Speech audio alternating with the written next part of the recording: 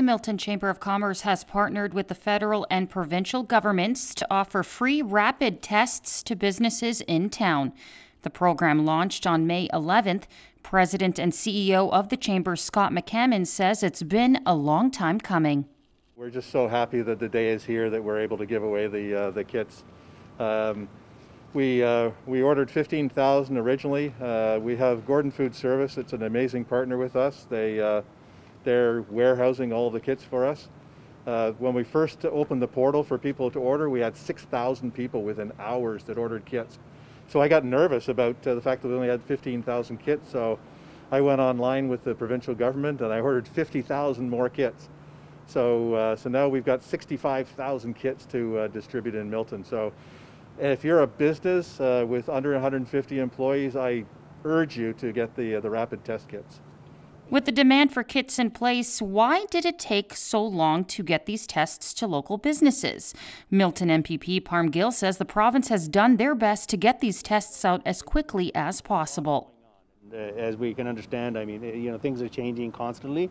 Uh, so I know you know different levels of government are working to roll out programs uh, as needed but at the uh, uh, first and foremost, I would say, you know, we have a responsibility to keep our frontline healthcare workers and other frontline uh, care workers that, uh, you know, that are per performing the jobs on a daily basis, putting themselves in harm way at a risk to protect them. And of course, small businesses are, uh, you know, at times uh, part of that uh, frontline staff. So, um, you know, slowly it's being rolled out, and I know that, you know, there, there, are things that we can always learn to improve. Uh, but I think uh, everyone's doing an awesome, awesome job uh, at, uh, at, making sure uh, that Ontarians, Canadians, uh, Miltonians, of course, are all kept safe. And for businesses like Country Heritage Park, these tests couldn't come at a better time. This is one of these things that we've lived through 14 months of trying to get through as a small business. It's been difficult, but I also employ young people, and they haven't been vaccinated yet.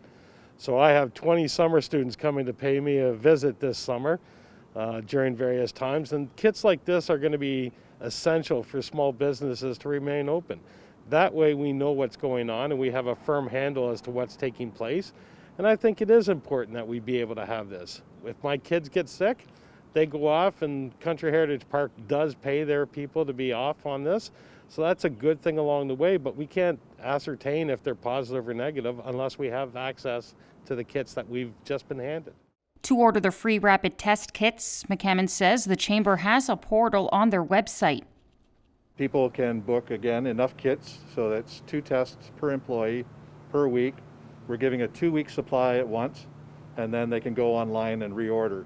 And the trick is that they also have to report their test results to us so then we can forward that to the to the government, so that uh, the, the provincial government and Health Canada know what's going on statistically, but also they can uh, they can also know when people have a, a positive test.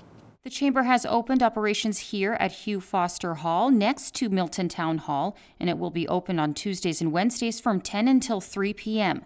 Reporting for Halton News, I'm Melissa Candelaria.